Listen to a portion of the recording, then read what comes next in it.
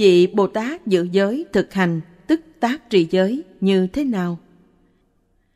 Vị Bồ Tát luôn luôn tiếp rước các bậc thiện tri thức, chào đón họ với cử chỉ cung kính, nhã nhặn và ân cần hầu hạ họ. Ngài tự thân chăm sóc khi họ ốm đau và sẵn sàng những sự phục vụ cần thiết cho họ. Khi nghe xong một bài pháp, Ngài luôn luôn bày tỏ sự cảm kích và am hiểu của mình, nói lời tán dương với đức của các bậc giới đức, biết kham nhận với những sai lầm của người khác và chỉ luôn luôn nhớ đến những điều tốt đẹp của họ để đáp trả lại họ.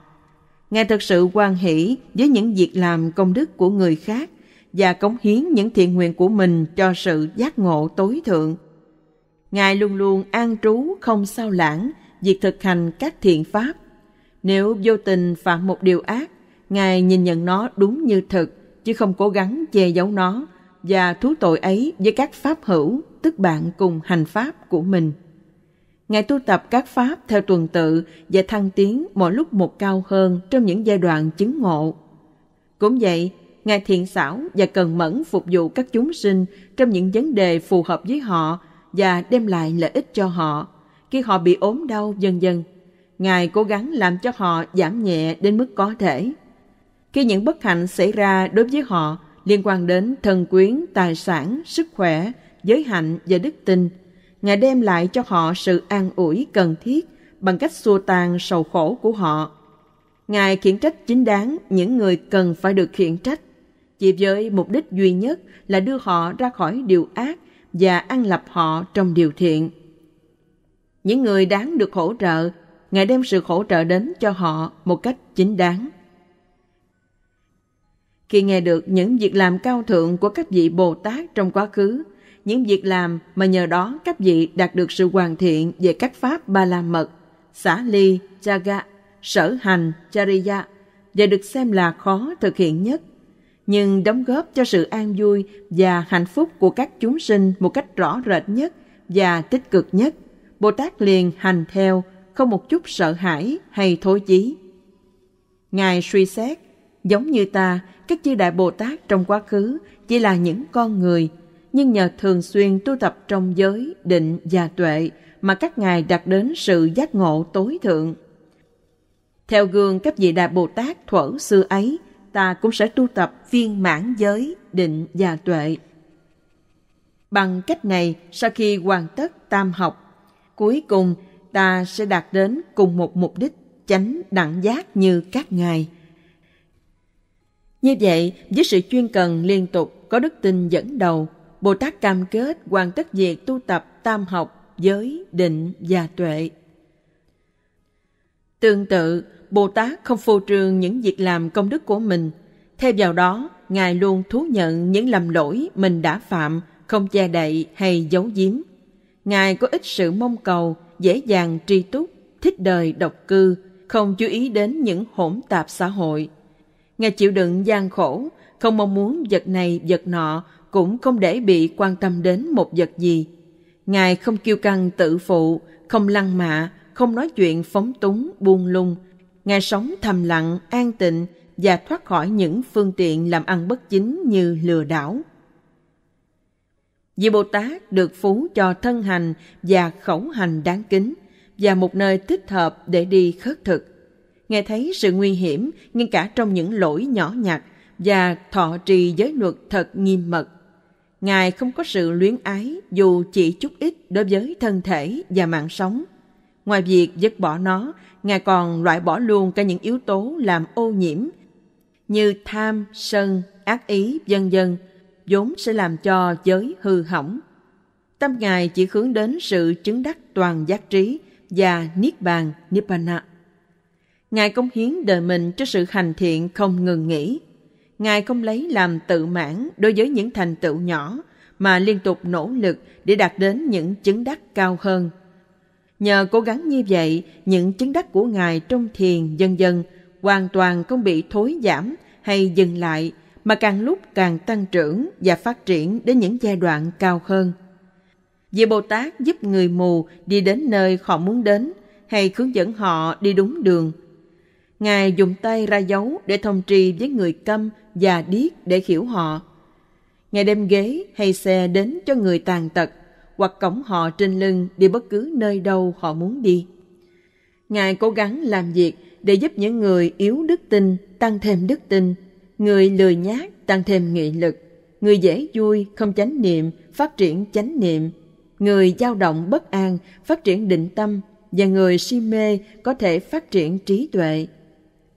Ngài cố gắng để giúp những người gặp khó khăn với những triền cái có thể xua tan những triền cái và người bị bức bách với những dục tầm, sân tầm và hại tầm có thể loại trừ những pháp bức bách ấy.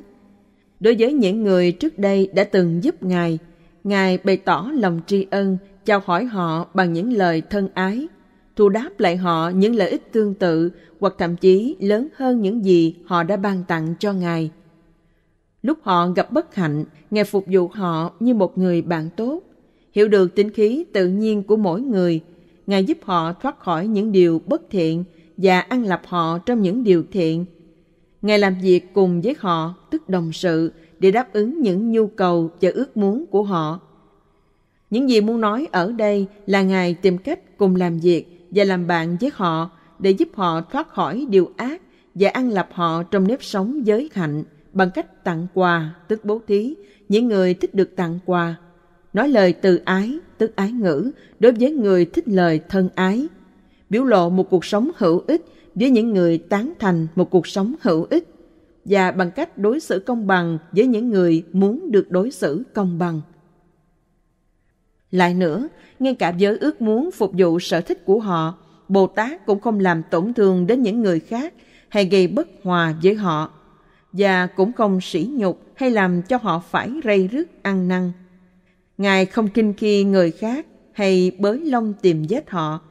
Ngài không tự đặt mình vào địa vị cao hơn trong quan hệ với những người đối xử với Ngài không có tâm kiêu ngạo mà hoàn toàn khiêm tốn.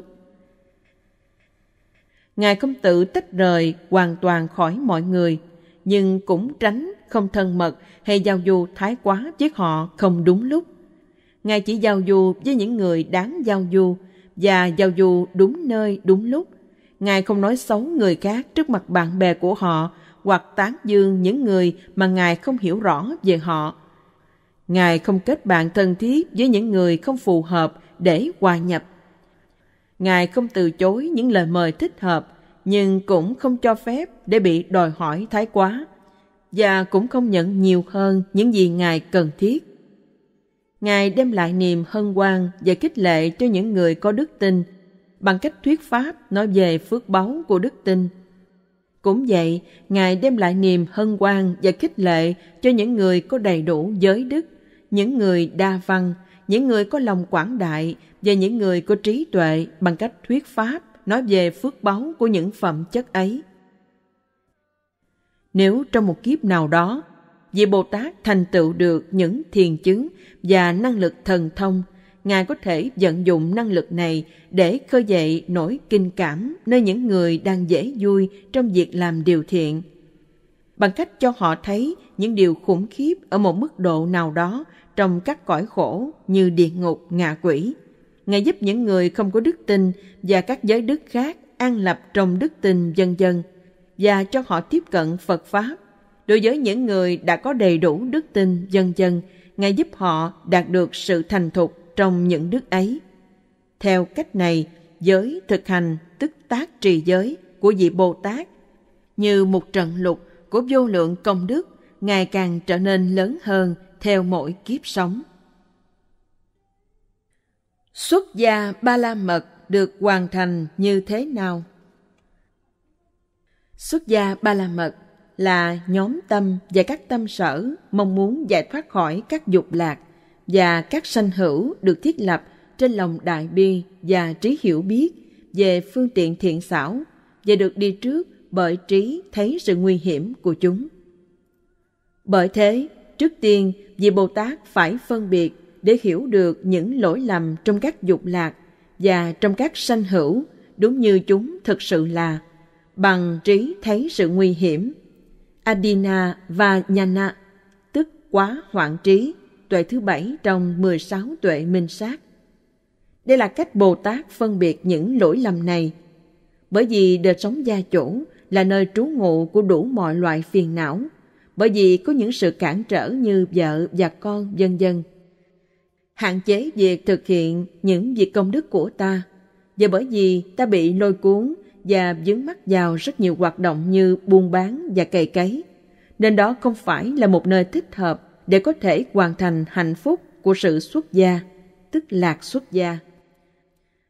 Các dục lạc của con người khác nào giọt mật trên lưỡi gươm bén, chứng tỏ nhiều nguy hiểm hơn những gì người ta có thể hưởng. Vị ngọt của chúng chỉ ngắn ngủi như một màn kịch, chỉ thấy được nhờ vào những tia chớp ngắt quãng. Chúng được thọ hưởng nhờ vào tưởng điên đảo giống như những vật trang sức của một người điên. Chúng lừa đảo không khác gì vật ngụy trang che đậy một đống phân hôi thối, không thỏa mãn như liếm bọt nước trên đầu ngón tay. Chúng làm cho người ta khổ sở và tác hại giống như một người chết đói, ngấu nghiến thức ăn, không biết điều đó sẽ gây ra bao nhiêu là bất hạnh. Như miếng mồi trên lưỡi câu, chúng làm cho người ta bị dính chặt như chất nhựa cây. Chúng tạo thành một phương tiện để che giấu những thứ hủy diệt giống như tấm áo choàng của kẻ sát nhân. Trước tiên, vị Bồ Tát phân biệt để hiểu rõ những bất lợi của các dục lạc và các sanh hữu như vậy. Sau đó, Ngài phân biệt để thấy những lợi ích của sự giải thoát khỏi chúng. Đó là sự xuất gia và hoàn thành xuất gia ba la mật. Bởi lẽ, xuất ra khỏi đời sống gia đình là nền tảng của xuất gia ba la mật, nên vào thời không có giáo phá của Đức Phật, để hoàn thành xuất gia ba la mật, vị Bồ Tát tiếp tục đời sống khổ hạnh dưới hình thức cấp vị sa môn hay du sĩ giữ vững niềm tin vào giáo lý nghiệp và quả báo của nghiệp. Tuy nhiên, khi một bậc chánh đẳng giác xuất hiện trên thế gian, vị Bồ Tát luôn gia nhập giáo đoàn tỳ kheo trong giáo pháp của Đức Phật.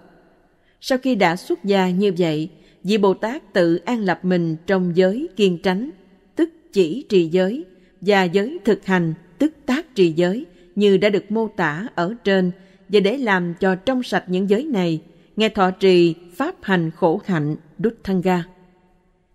Như vậy, vị Bồ Tát sau khi đã gột rửa tâm phiền não với nước trong lành của giới và củng cố thêm bằng pháp hành khổ hạnh trở nên đầy đủ với thân hành và khẩu hành trong sạch, vô lỗi. Vị ấy biểu lộ sự hài lòng với bất cứ tấm y nào có được, tri túc với bất cứ món ăn khất thực và chỗ trú ngụ nào có được và sau khi đã theo đuổi được ba trong bốn truyền thống đầu của các bậc thánh, Ngài cố gắng để hoàn thành truyền thống thứ tư, đó là vui thú trong thiền định, bằng cách thực hành một đề mục thích hợp trong 40 đề mục thiền đã mô tả cho đến khi đắc cận định và an chỉ định, tức các bậc thiền. Và việc chứng thiền Jana được xem là sự hoàn thành của xuất gia Ba La Mật của vị Bồ Tát trên đây là phương pháp hoàn thành xuất gia ba la mật. Trí tuệ ba la mật được hoàn thành như thế nào? Vì ánh sáng của trí tuệ không thể cùng hiện hữu với bóng tối của vô minh, nên vị Bồ Tát muốn hoàn thành trí tuệ ba la mật, phải tránh các nhân của vô minh như ác cảm với điều thiện, lười biếng, ưa thích ngủ nghỉ vân vân và chuyên cần thu thập tri kiến rộng lớn thực hành các loại thiền, vân dân. Trí tuệ có ba loại. Trí tuệ phát sanh do nghe, tức văn tuệ. Trí tuệ phát sanh do suy luận, tức tư tuệ. Và trí tuệ phát sanh do tu tập, tức tu tuệ. Văn tuệ, trí tuệ phát sanh do nghe. Để cho văn tuệ được thành thục, vị Bồ Tát phát triển nó qua việc nghiên cứu, lắng nghe, học hỏi, ghi nhớ cẩn thận và thảm sát với chánh niệm. Ở đây, tinh tấn và trí tuệ được đi trước bởi phương tiện thiện xảo trí. Toàn bộ lĩnh vực của văn tuệ được gói ghém trong một Năm uẩn, 12 xứ, 18 giới, tứ thánh đế, 22 quyền, pháp duyên khởi, những phương pháp duy trì chánh niệm chân dân, vốn tạo thành các yếu tố của sự giác ngộ, tức 37 pháp trợ đạo, cũng như các phạm trù khác của Pháp như thiện Pháp, bất thiện Pháp, vân dân. Và hai, các loại kiến thức thế gian, vô lỗi, thúc đẩy sự an vui và hạnh phúc của các chúng sinh. Theo cách này, vị Bồ Tát phát triển văn tuệ và trở thành một người có trí tuệ nhờ tự mình đào sâu vào toàn bộ lĩnh vực của nó, văn tuệ, và cũng giúp người khác an lập trong tuệ ấy nữa. Cũng vậy, để phục vụ lợi ích của các chúng sinh, vị Bồ Tát phát triển trí tuệ nhạy bén, tức trí khởi lên tức thời, để tìm ra những phương tiện thích hợp ngay tại chỗ, tức ứng xử trí. Thanun Patika Patifanayana Trí này cũng còn được gọi là phương tiện thiện xảo trí, Upaya Kosalayana. Nhờ trí tuệ này, vị Bồ Tát có thể phân biệt được những yếu tố nào là những yếu tố sẽ thúc đẩy sự phát triển và thịnh vượng, và những yếu tố nào sẽ góp phần vào sự lụng bại và quỷ diệt để giúp các chúng sinh. Tư tuệ, trí tuệ phát sanh do suy luận. Tương tự, Bồ Tát phát triển tư tuệ bằng cách suy xét thấu đáo các hiện tượng tự nhiên và các thực tại tối hậu như năm uẩn, chân dân. Tu tuệ, trí tuệ phát sanh do tu tập. Sau khi đã phát triển các loại tuệ thế gian, hiểu biết thấu đáo các hiện tượng tự nhiên như năm uẩn, chân dân, bằng cách phân biệt các đặc tính chung cũng như riêng của chúng. Bồ Tát tiến hành để hoàn thiện và hoàn thành phần mở đầu của trí tuệ có được do tu tập. Đó là chính tuệ minh sát như tuệ thẩm sát tam tướng, samasana nhana, vân vân. Nhờ hoàn thiện và hoàn thành tuệ minh sát vipassana, Bồ Tát tuệ tri các đối tượng bên ngoài cũng như bên trong chỉ là danh và sắc. Nhóm hiện tượng tự nhiên vốn chỉ là danh và sắc này, sanh và diệt theo các duyên. Trong thực tế, không có người sáng tạo hay không có ai khiến cho người khác được tạo ra. Danh và sắc như một thực tại sanh lên chỉ để diệt, và do đó là vô thường. Nó là khổ bởi vì sự sanh diệt không ngừng của nó. Nó không thể kiểm soát, không thể kiềm chế, nên là vô ngã. Hiểu thấu đáo bản chất thực của các đối tượng bên ngoài cũng như bên trong không có sự phân biệt như vậy. Ngài buông bỏ được sự dính mắc vào chúng và cũng giúp những người khác làm được như Ngài. Trong suốt giai đoạn trước khi chứng đắc Phật quả này, vị Bồ Tát vì lòng đại bi giúp các chúng sinh bước vào thực hành ba cổ xe, gồm Phật, độc giác và thinh văn. Hoặc nếu những ai đã bước vào rồi thì giúp họ đạt đến sự thành thục trong pháp hành của họ. Riêng phần Ngài, Bồ Tát cố gắng để thành tựu năm pháp thuần thục đối với các thiền hiệp thế cũng như các năng lực thần thông khác và với sự trợ giúp của định kết hợp với các bậc thiền và năng lực thần thông này, Ngài đạt đến đỉnh cao của trí tuệ. Đây là phương pháp hoàn thành trí tuệ ba la mật, Paramis. Tinh tấn và các ba la mật khác được hoàn thành như thế nào? Ví như một vị tướng kiên quyết chiến thắng kẻ thù của mình, ra sức cố gắng không ngừng như thế nào thì cũng vậy, vị Bồ Tát người đang tìm cách chiến thắng những kẻ thù phiền não và mong muốn những người khác cũng thực hiện được những chiến thắng tương tự như mình. Làm việc một cách gian khổ trong mọi thời, mọi lúc để hoàn thành các pháp ba la mật. Do đó, vị Bồ Tát luôn luôn suy xét với chánh niệm. Ta có tích tạo được gì giúp cho những điều kiện thiết yếu của phước đức và trí tuệ ngày hôm nay không?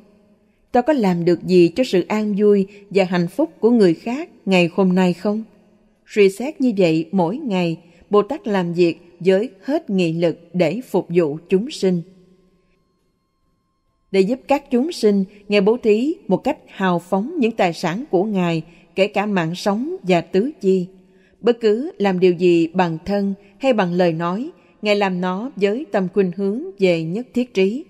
Bất cứ công đức nào tích lũy được từ những hành động ấy, Ngài khiến dân cho sự chứng đắc toàn giác hay Phật quả.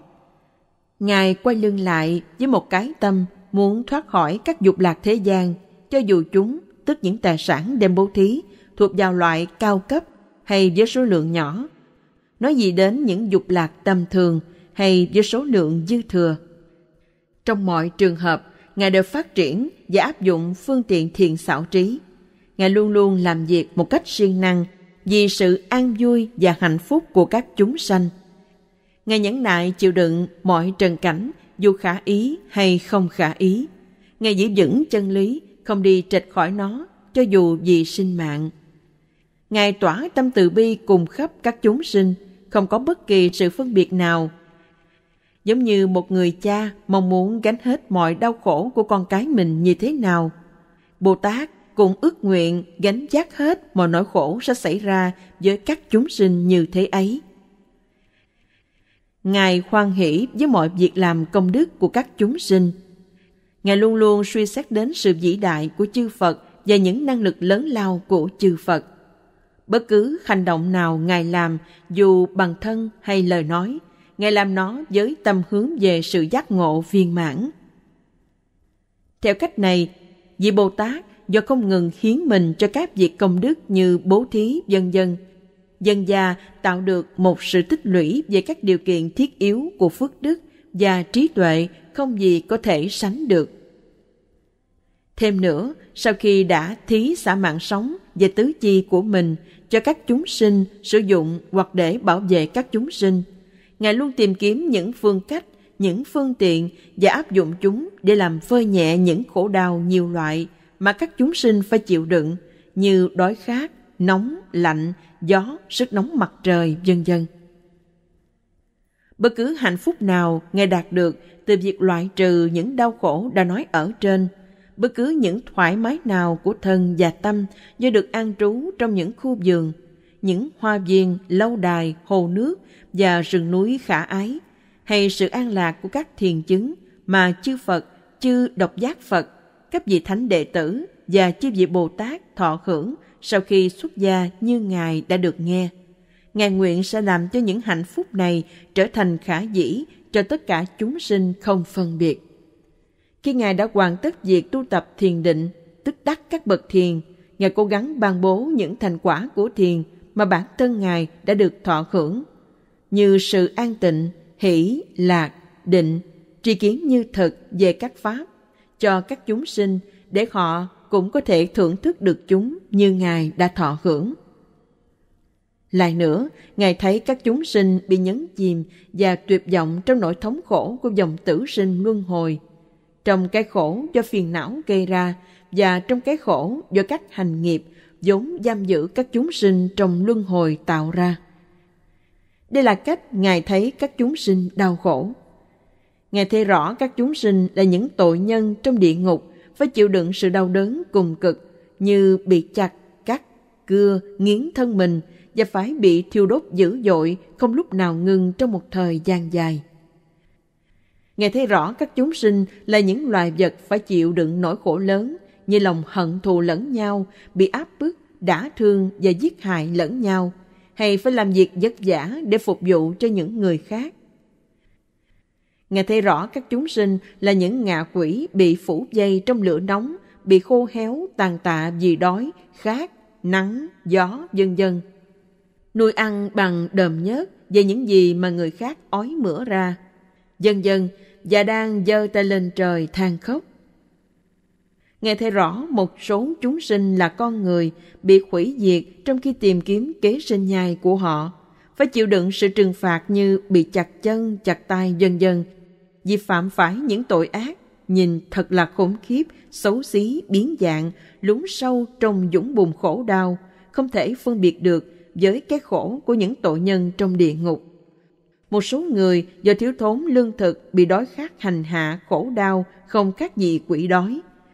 Một số người yếu đuối bị kẻ mạnh hơn đánh bại, bị bắt ép phải phục vụ cho họ, phải dựa vào họ để sinh sống.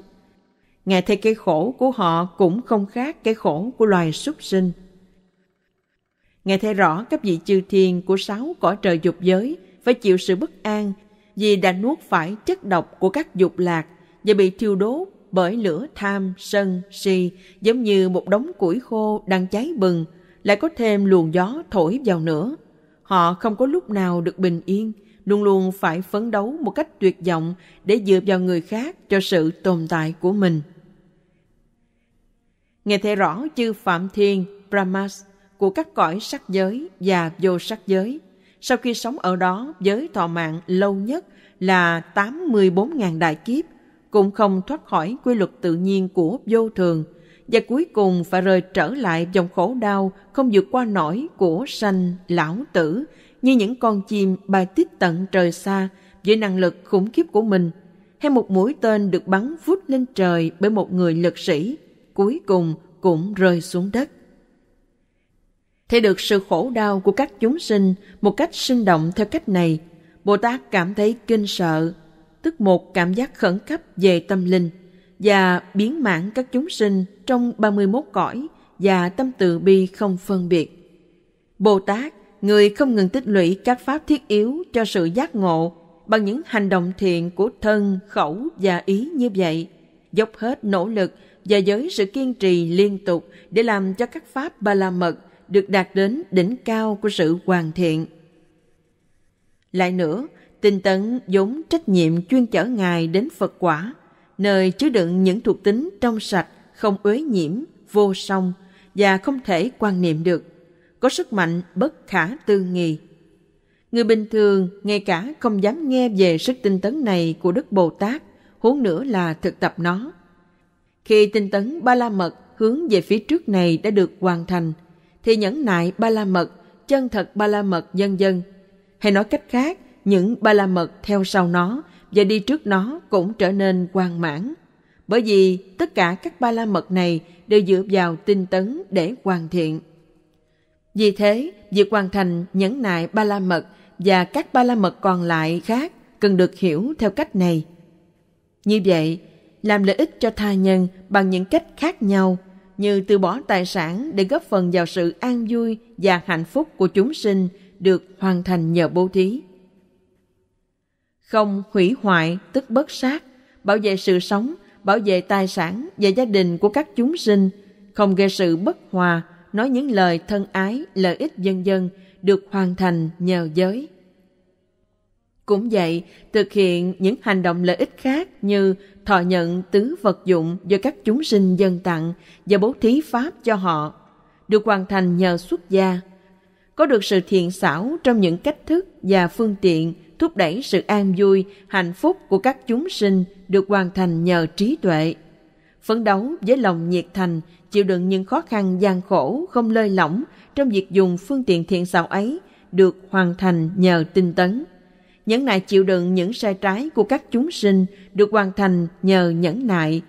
Không lừa đảo, không thất khứa trong việc giúp các chúng sinh được hoàn thành nhờ chân thật giữ tâm bất động ngay cả khi những quyền lợi của mình bị sút giảm do phục vụ các chúng sinh được hoàn thành nhờ sự quyết định. Không ngừng suy nghĩ đến sự an vui và hạnh phúc của các chúng sinh được hoàn thành nhờ tâm từ. Thản nhiên khi người khác giúp đỡ hay gây phiền nhiễu được hoàn thành nhờ tâm xã. Như vậy, Bồ Tát cố gắng để có được một sự tích lũy về phước đức và trí tuệ vô song. Người bình thường không chia sẻ được vì lợi ích của vô lượng chúng sinh và vì sự hoàn thành toàn diện các điều kiện căn bản của các pháp ba la mật của Ngài như đã được đề cập ở trên. Tất cả những sự đảm đương này có thể tóm gọn lại là thực hành sự hoàn thiện các pháp ba la mật.